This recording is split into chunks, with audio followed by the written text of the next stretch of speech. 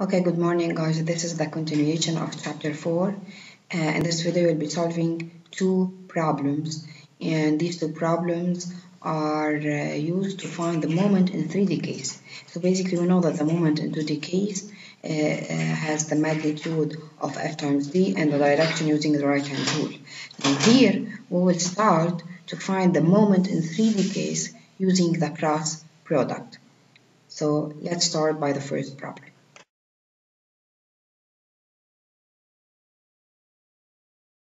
So this is the first problem in 3D case to find the moment of rotation. Now we know that in 3D case, if I need to find the moment of rotation, I need to apply the cross product, which means I need to say M is equal to R cross F. And what is R?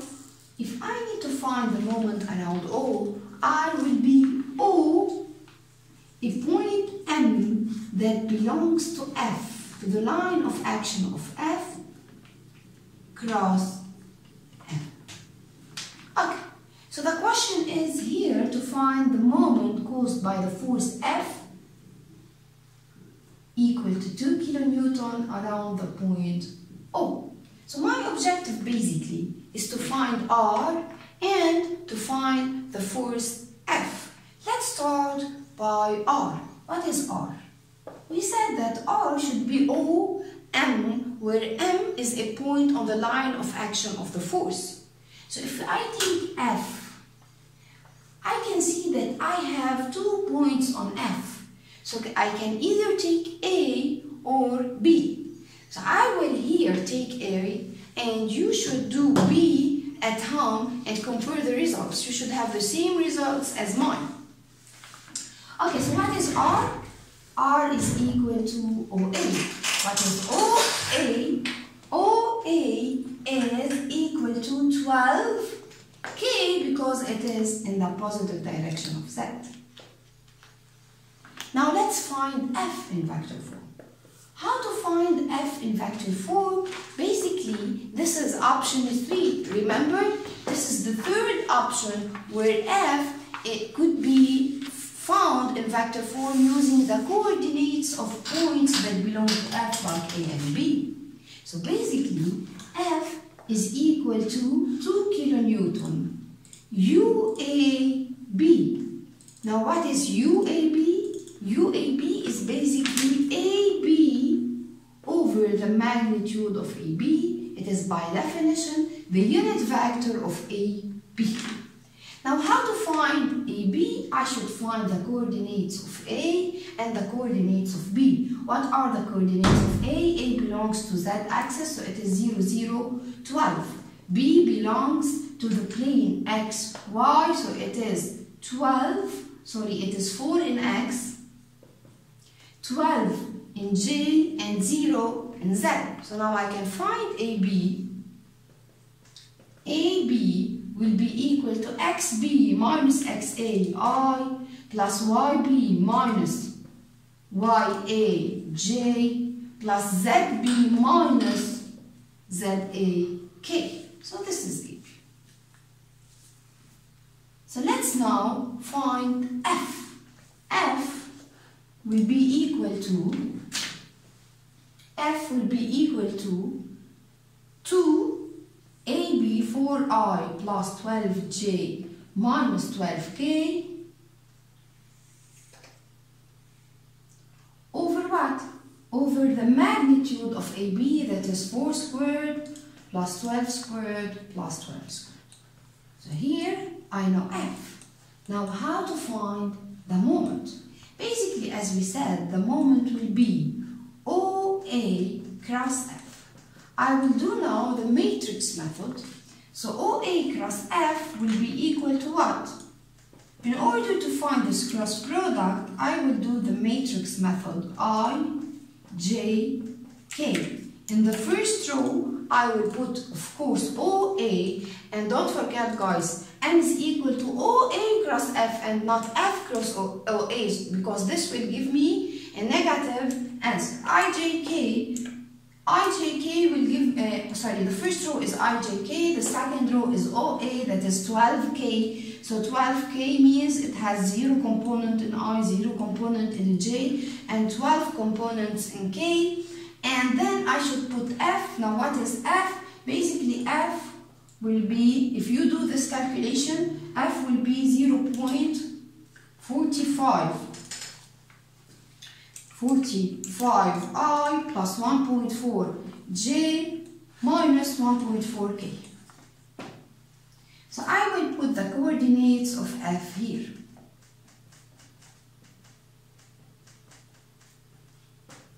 And let's do the matrix cross product. First of all, I will start by i, so I will cross the column of i and the row of i, and then i will be, the component in i will be 0 times minus 1.4, which is basically 0, minus 12 times 1.4. So it is minus 12 times 1.4.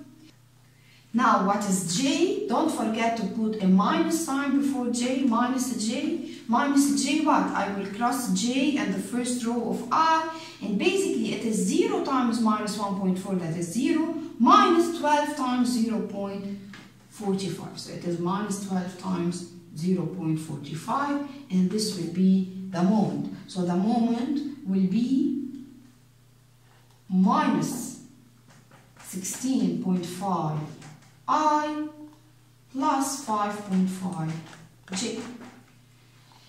So what is nice about the cross product is that I don't have to worry about the right hand rule or the direction of the moment. I can directly find the sign, the direction of the moment by doing the cross product. So you can see here that the moment has a negative direction in I and positive direction in J. So I don't have to do the right hand rule and I don't have to worry about the direction. Now I can do the moment using another method which is basically to substitute OA by 12K, so 12K cross F and then substitute F by 0.45 I plus 1.4 sorry 1.4 J minus 1.4 K. And then I can do the cross product of each term because basically the cross is distributed as the following. I can do 12 times 0.45 K cross I. Now what is K cross I Basically, if you apply this method, so if this is I, this is J, and this is K, then this will be the positive direction. Of course, you can do the opposite one, it is the same. Now here I'm saying that I need to find K cross I. So K cross I is plus J. So from here comes this term in plus. And then I will do K cross J. K cross J is in the negative direction, so it is minus J sorry, minus i, and from here comes this term in minus i, and finally I can do 12k cross minus 1.4k, so 12 times 1.4, k cross k, k cross k is basically 0. That's why I don't have any term here in k. I can, from the figure and from the cross product predict that there will not be any term in k for the moment of rotation. And this is because basically the moment is equal to r cross f which means this moment should be perpendicular to r and perpendicular to f.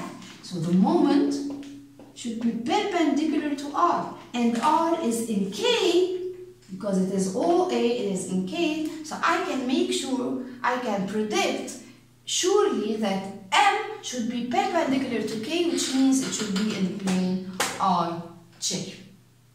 Okay, so this is the second problem in a 3D case for moment. Here I have two forces, F1, and it is given in vector form, and F2 that is also given in vector form. The objective is to find the resultant moment around this point O, which is the point of rotation. So how to do this? I know that the resultant moment, M resultant around O, should be equal to M caused by the force 1 plus M2 and they are both vectors. So my objective is to find M1 and M2. Now how to find M1? Basically it is R1 cross F1. Now what is R1? R1 as I said it is from the point, it is the vector, from the point of rotation to any point that belongs to F1. Now this is F1. I know that A belongs to F1, so I can say that R1 is OA cross F1. F1 here in this example is given in vector form, so I only have to find OA, and since OA is in Y, then this is 5J and in the positive direction, plus 5J.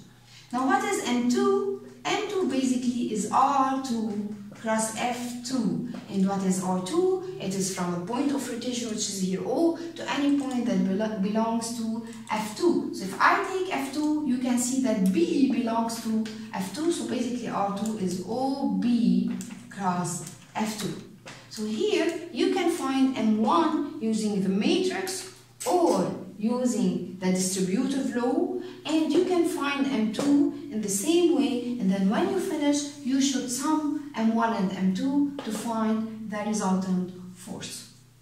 Thank you.